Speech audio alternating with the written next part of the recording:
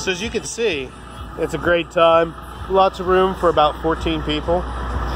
And we can take your drinks and all the goodies.